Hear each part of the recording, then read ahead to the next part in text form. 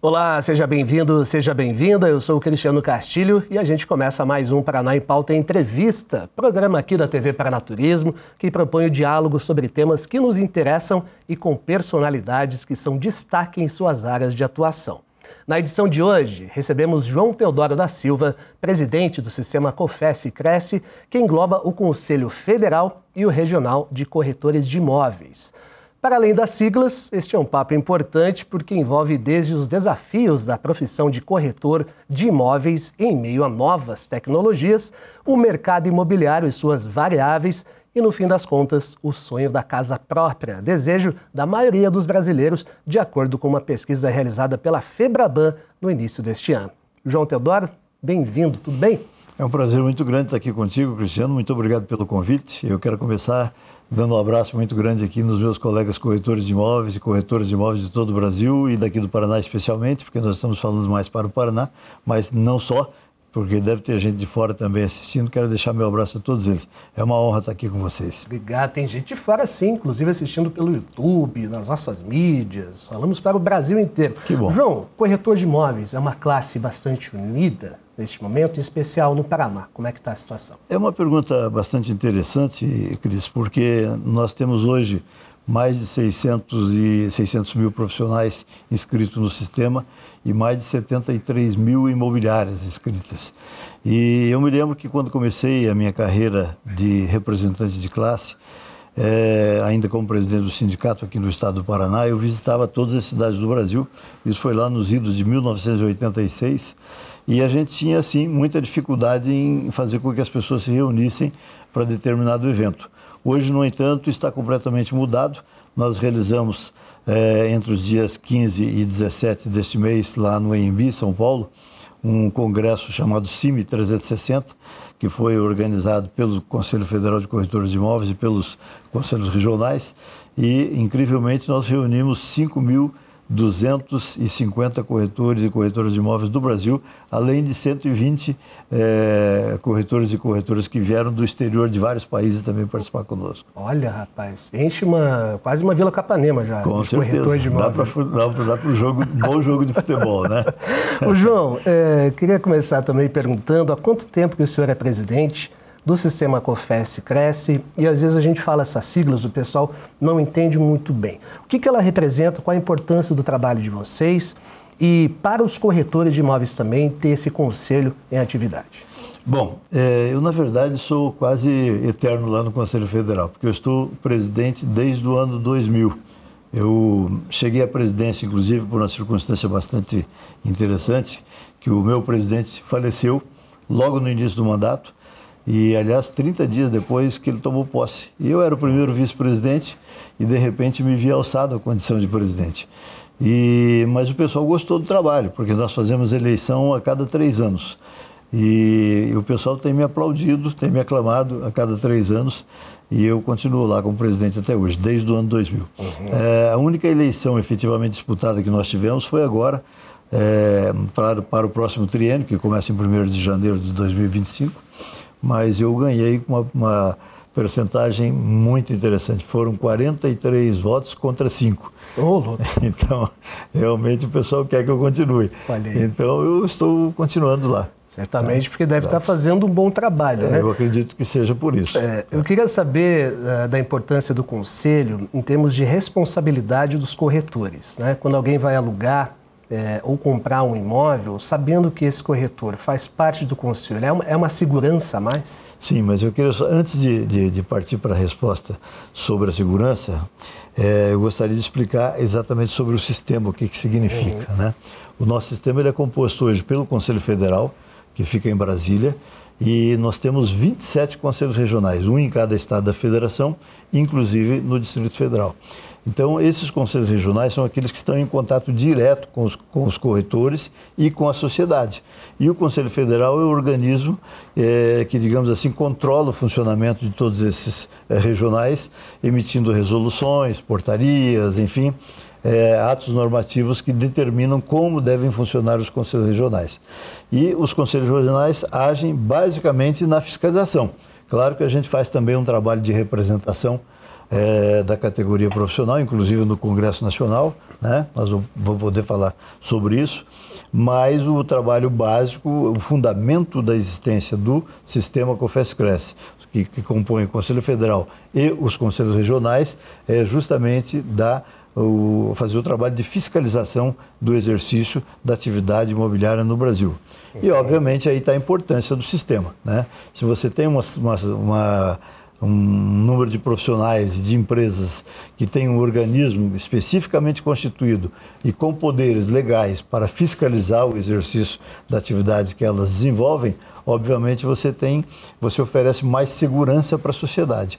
Então, o objetivo do conselho, tanto dos regionais quanto do federal, é oferecer segurança para a sociedade que vai comprar, vender, alugar, enfim, é, fazer qualquer operação com o mercado uhum. imobiliário. Segurança pelo trabalho do próprio corretor e também jurídica, acredito eu, né? Sem dúvida, segurança jurídica, basicamente é a segurança jurídica, mas obviamente ela, ela reflete no trabalho que é desenvolvido pelos corretores de imóveis, né? É, hoje o cidadão para ser corretor de imóveis, embora nós não tenhamos ainda na lei que nos regulamenta a exigência do curso superior, nós já temos muita gente formada especificamente em gestão de negócios imobiliários no Brasil inteiro. Temos mais de 15 mil pessoas com essa condição.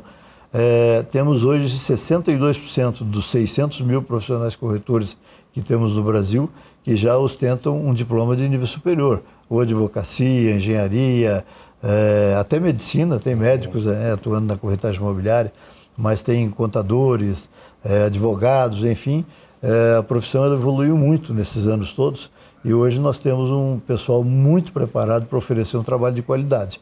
E, obviamente, esse trabalho de qualidade, ele está respaldado pela nossa fiscalização. Toda vez que um corretor de imóveis faz alguma coisa errada, em desacordo com a ética, em desacordo com a probidade, o cidadão que sofreu eventual prejuízo ou está na iminência de sofrê-lo, pode uhum. recorrer ao Conselho Regional e a gente vai abrir um processo administrativo contra esse profissional e verificar realmente o que está acontecendo e, eventualmente, puni-lo se for o caso. Por falar em coisas erradas que o senhor citou por parte desses profissionais e entrando um pouco mais em questões práticas, o senhor pode dar um exemplo de que atividades assim seriam, não seriam é, eficientes ou seriam notadas pelo Conselho? Olha, hoje tem muita reclamação, por exemplo, na área de locação né, por temporada, que é uma coisa bastante proeminente no Brasil e principalmente em épocas de final de ano, que o pessoal viaja bastante, você tem muita locação de temporada. E aí a gente enfrenta muitos problemas. Não, é, até, até por corretores de imóveis também, mas eu, eu não vou dizer que todos os corretores são santos, claro que não. Né? A gente tem problemas também e procura, obviamente, é, justamente o trabalho do Conselho é fazer com que esses problemas sejam é, diminuídos o máximo possível. Mas existem muitas pessoas que se passam por corretor de imóveis e oferecem coisas que na verdade não existem, né? Muitas vezes nem existem e, e as pessoas é, confiando naquela pessoa, achando que ele é um corretor de imóveis, até antecipa dinheiro Sim. e aí leva prejuízo, porque não tem como você resgatar esse dinheiro. Né? É. Então a gente recomenda é, para todos que queiram trabalhar com corretor de imóveis, que fazer um negócio imobiliário, seja para venda, locação, permuta, o que seja, ele pesquise primeiro no site do Conselho Regional do seu estado para ver se aquele cidadão está lá inscrito e se ele está regular com o Conselho. Perfeito, dicas super importantes aqui com o João Teodoro. João, entre as atividades de um corretor está a avaliação do imóvel, né? Seja para locação, para venda, compra, enfim. Que dados hoje são mais importantes nesse quesito? A localização, por exemplo, é, continua sendo primordial mesmo numa cidade expandida como Curitiba? Claro, se você vai falar em locação, em precificação né, do, do produto imobiliário, é, o principal ponto, naturalmente, é a localização. Mas a parte da localização tem uma série de, de fatores que tem que ser analisado. Então, o corretor hoje, nós temos inclusive criado dentro do Conselho Federal de Corretores de Imóveis um instrumento chamado KINAI, Cadastro Nacional de Avaliadores Imobiliários.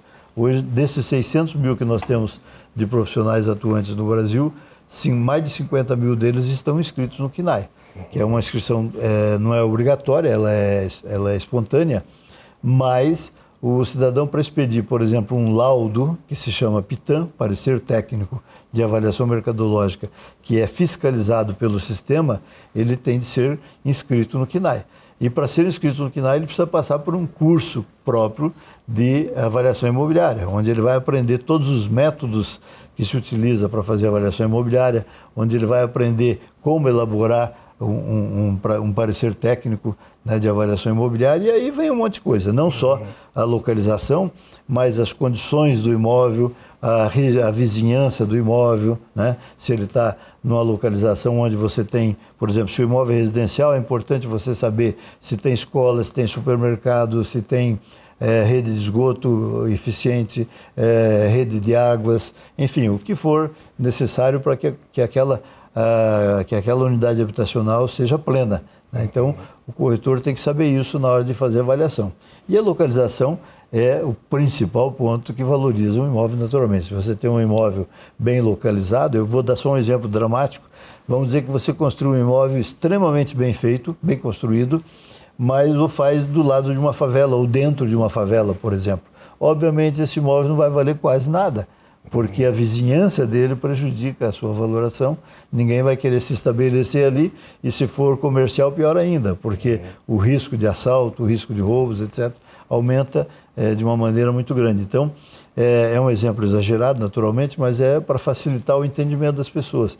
Por isso que a localização continua sendo o elemento principal em qualquer tipo de avaliação, além de todos os demais fatores. Maravilha. E sempre está atento também àquela coisa de gato por lebre, né? Muita gente aluga também. ou compra uma casa com base só em fotos. Isso a gente vê no fim do ano, né? Nossa, adorei essas fotos. Aí chega lá, não é desse jeito. Não é, e nem, às vezes nem existe o imóvel. Nem existe é. a foto.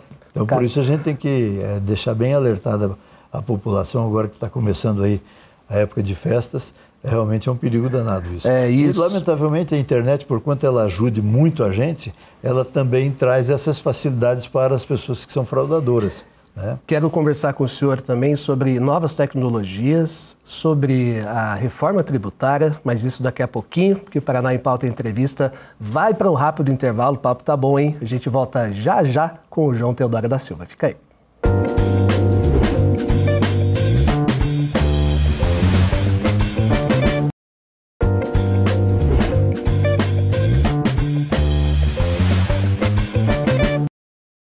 Muito bem, já estamos de volta com o Paraná em Pauta Entrevista. Chegou agora, seja bem-vindo, seja bem-vinda. Hoje recebemos João Teodoro da Silva, presidente do Conselho Federal de Corretores de Imóveis. Uh, João, a gente conversou no primeiro bloco, deu um, um teaser sobre a inserção de novas tecnologias neste mercado imobiliário, né? Tem muitos aplicativos aí de locação, de compra e venda. Que cuidados o consumidor, o cliente precisa ter nesse aspecto? É, na verdade, como eu disse no primeiro bloco nosso, é, a internet ela trouxe muitas facilidades. Hoje nós, inclusive, temos aí ah, as tais das inteligências artificiais que promovem muitas facilidades para muito tipo de atividade é, relacionada à tecnologia, mas é preciso que as pessoas tomem muito cuidado. Porque como elas facilitam a vida do profissional corretor de imóveis, elas facilitam também a vida das pessoas que agem fraudulentamente no mercado. Então, eu vejo muitos casos, nós temos recebido muitos casos de pessoas que, por exemplo, se, se baseiam numa fotografia apresentada é, numa determinada determinado anúncio e chega no local, a casa às vezes nem existe, né? Ou às vezes chega lá, a casa está alugada, ou está com outra pessoa lá dentro que nem sabe que, que alguém anunciou aquela casa. Então, essas coisas todas têm de ser tomado muito cuidado. Por isso, nós recomendamos às pessoas é, não é uma questão de você querer buscar trazer a brasa para a tua sardinha, mas é porque nós temos um processo de fiscalização do exercício da atividade imobiliária no Brasil. E as pessoas que fazem esse exercício legalmente, elas são todas obrigatoriamente inscritas no Conselho Regional. Então, se o cidadão vai alugar um imóvel, principalmente em época de temporada, ele tem que procurar saber se efetivamente aquela pessoa que está oferecendo, seja uma pessoa física ou jurídica, né, uma imobiliária, se ela está legalmente inscrita no Conselho Regional da região. E isso é fácil. Hoje, para entrar no site de qualquer conselho, é só escrever Cresce e imediatamente você Perfeito. já tem ali uh, o acesso a essas informações. Entendeu? De forma resumida e passando tudo a limpo, o conselho fornece segurança, né?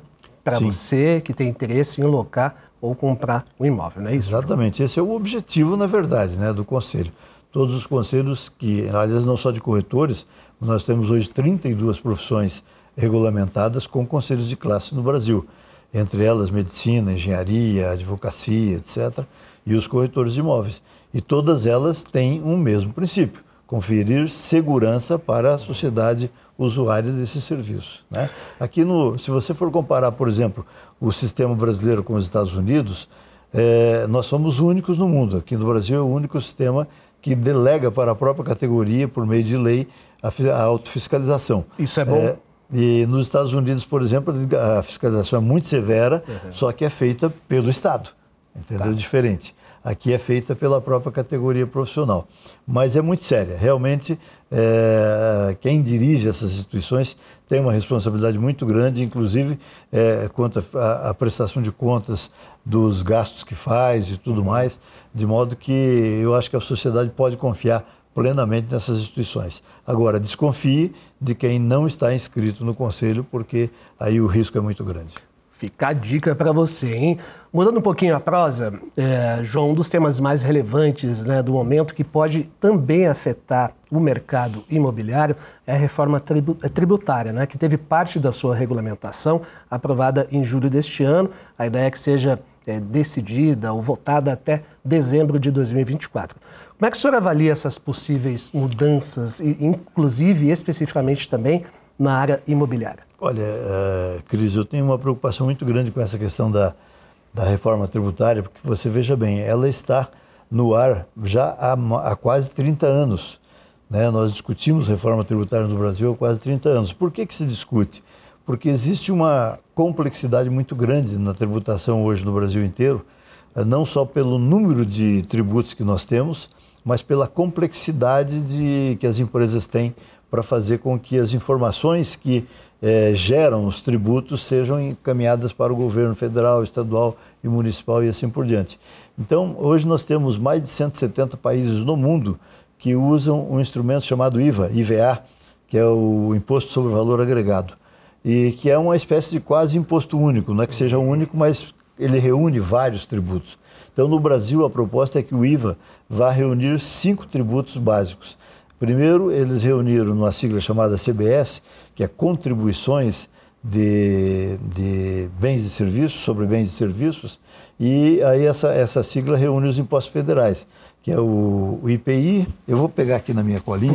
Para mostrar, para não, não cometer erros. É porque, até porque é bastante é, imposto. O IPI, o COFINS e o PIS. São três tributos federais que estão incluídos na tal da CBS. E depois nós temos o IBS, que são dois, dois tributos, que aí são municipais e estaduais. É o ISS, Imposto sobre Serviços, e o ICMS, que é o Imposto sobre Circulação de Mercadoria e Serviços também. Então, nós teremos duas siglas só para ser decoradas, CBS e IBS, né, para começar. Mas todos esses tributos estarão reunidos num único tributo chamado IVA, IVA, Imposto sobre Valor Agregado. E esse tributo, ele no Brasil está sendo calculado pelo governo federal, naturalmente, é, com uma tarifa é, básica de 26,5%. E o papel nosso, de cada segmento, naturalmente, eu estou falando aqui do segmento imobiliário, mas tem vários outros segmentos, indústria, indústria química, enfim, vários, vários segmentos, e cada um está lutando pelas suas, pelo seu pedaço. Né? É, nós achamos que a aplicação pura e simples dos 26,5% para o mercado imobiliário, ele iria onerar demais o mercado ia inviabilizar, iria inviabilizar a aquisição da casa própria, para começar. Né? Porque é, o, o, tribu, ah, o, aumento do tributo seria em mais de 100%, com toda certeza. E Então nós estamos lutando para reduzir. Como é que se dá isso? Cada é, tipo de, de, de, segmento, né? de, de serviços, de indústria, de comércio, enfim, vai trabalhar para reduzir o percentual da, do, do IVA na, do seu produto entendeu? Uhum. Então, na base, né? É, na base. Então, aí o governo vai autorizar, por meio do projeto de lei que está em círculo de tramitação hoje, que já passou pela Câmara, mas ainda não pelo Senado, é, o governo vai tratar de é, permitir, né, porque vai ser decidido em Congresso, vai permitir que se aplique um percentual redutor desse 26,5%, entendeu? Uhum. Então, para o mercado imobiliário especificamente, o governo propôs inicialmente uma redução única de 20% do IVA. Né? É, nós, obviamente, não concordamos, porque isso não satisfaz o mercado Sim. e vai causar realmente aumento muito forte de tributo. Então, nós lutamos na Câmara Federal para que nós pudéssemos conseguir 60% de redução no caso das operações de comercialização de imóveis, né, compra, venda, etc., é, e 80% para as operações relacionadas à locação, arrendamento mercantil e vai por aí afora. É, até agora nós conseguimos somente 40 para as operações de comercialização e 60 para as operações de locação. E isso então, é a importância dessa união de classe nesses temas exatamente. majoritários, é, macroeconômicos. Essa, essa é a representação que nós fazemos isso. junto ao Congresso Nacional como instituição legal. Né? A gente falou de casa própria agora, e olha que bacana, João. Segundo uma pesquisa realizada pela Brain Inteligência Estratégica no final do ano passado, os brasileiros entre 21 e 26 anos são os que têm maior interesse em comprar um imóvel. A juventude com esse sonho da casa própria, algo que não morre jamais. Né? É, é verdade. Interessante isso, porque eu até conversei contigo dos bastidores antes sobre a tal da, operação, da geração Z, Sim. que são exatamente essas pessoas mais jovens, né? até na faixa dos 18, 20 anos. E, e é exatamente aí que está é, contido o resultado dessa pesquisa que a Brin acaba de fazer de 27% que querem comprar. Nós tínhamos informação lá atrás que, que toda, todo esse pessoal que compõe a tal geração Z, eles é, têm é, 37% deles com intenção de comprar casa né? com intenção. Se vai conseguir ou não é outra história, mas tem a intenção de comprar. E o que nós tínhamos é, até então de informação é que esse pessoal tem uma volatilidade empregatícia muito grande, ou seja, o cidadão sai de um emprego, vai para outro, sai desse, vai para outro, assim, e, isso obviamente impediria que eles tivessem vontade de ter um imóvel próprio mas a situação está se mostrando diferenciada. E eu imagino que é o seguinte, Cris: de repente as pessoas vão crescendo na vida, vão crescendo é, é, fisicamente, etariamente, uhum. e vai compreendendo que a vida é um pouco diferente daquilo que a gente imagina com 15 anos de idade, com 14 anos de idade. E aí fica sabendo que, caramba, é importante ter uma casa própria. Né? Então, deve ser o resultado dessa pesquisa aí de que 27% desses garotos estão interessados em comprar uma casa própria. Eu fico muito feliz porque é uma boa notícia para o mercado imobiliário, naturalmente. A juventude vem que vem aí com vem esse sonho vem. da casa própria, é. né? Engraçado também porque é uma geração, e algumas outras pesquisas dizem isso, que é muito efêmera em sua situação de trabalho, por exemplo, que muda muito, né? De um ponto para outro. É. É, a relação com a internet, muita gente gosta de guardar dinheiro para viajar por exemplo, e não para comprar a casa própria. Essa pesquisa vem nesse sentido contrário. É, talvez, talvez aí também tenha uma, uma, um pouco de influência da sociedade norte-americana, né? que na sociedade norte-americana é assim, a maioria das pessoas preferem, eles compram a casa por um determinado período da vida, depois vendem a casa e alugam e vão viajar, conhecer o mundo, né? principalmente na faixa, na faixa etária da aposentadoria. O cidadão quer saber de conhecer o mundo, vai viajar. Talvez, é, como a gente tem hoje uma proximidade muito grande em função justamente da facilidade que a internet promove, né? a gente fica sabendo do que acontece lá e se influencia por aqui. Essa semana, por exemplo, eu vi aí é, algumas famílias interessadas em, em promover uh, o dia da, da bruxa, das bruxas aqui Sim. no Brasil. Mas nós nunca tivemos isso. Isso é uma influência da internet que trouxe o costume dos Estados Unidos é. para cá. E eu acho que afeta também no mercado imobiliário com toda certeza. Tem gente que comemora o dia do Saci, inclusive aqui no de Brasil. Repente, né? É. Ô, João, a gente está se caminhando para o fim, mas dicas para um bom corretor de imóveis. Quem porventura nos assiste trabalha com essa profissão, o que, que o senhor pode alertar nesse sentido? Olha, eu acho que hoje nós estamos vivendo uma era que é uma coisa que está sendo relegada a segundo plano, principalmente, me perdoe, mas as, populações mais, mais nascentes, né, como essa geração Z, é a questão do conhecimento. O mercado imobiliário hoje ele é um, um mercado muito complexo, de conhecimentos complexos. E não é mais como era no passado, uma operação singela de simples aproximação de duas partes. Hoje você tem que ser verdadeiramente um assessor de negócios, né? alguém que tenha conhecimentos profundos sobre tudo que envolve um negócio imobiliário para poder assessorar o teu cliente. Porque se você é um médico, dentista, engenheiro, seja lá o que for, profissionalmente, você não tem tempo para ficar se dedicando a toda a complexidade que o negócio imobiliário é, hoje tem para poder fazer um negócio que te satisfaça. Então é preferível que você passe isso para um profissional e ele vai te cobrar um comissionamento, um honorário, mas vai ter a certeza, vai te dar a certeza de que o teu negócio vai atender a tua expectativa, atender os teus anseios. Então a gente recomenda sim que as pessoas que queiram ser corretor de imóveis busquem principalmente o conhecimento. E eu falo de conhecimento, não é só conhecimento específico de técnicas imobiliárias, mas conhecimento geral, conhecimento de história, conhecimento de futebol, conhecimento de religião, de tudo. Porque no negócio imobiliário você encontra clientes dos mais diversos naipes e precisa saber tratar com esse cliente. Busquem conhecimento, já diria alguém por aí, né, em todas as áreas. João, obrigado, foi um papo super esclarecedor. É, obrigado pela visita por aqui e sucesso.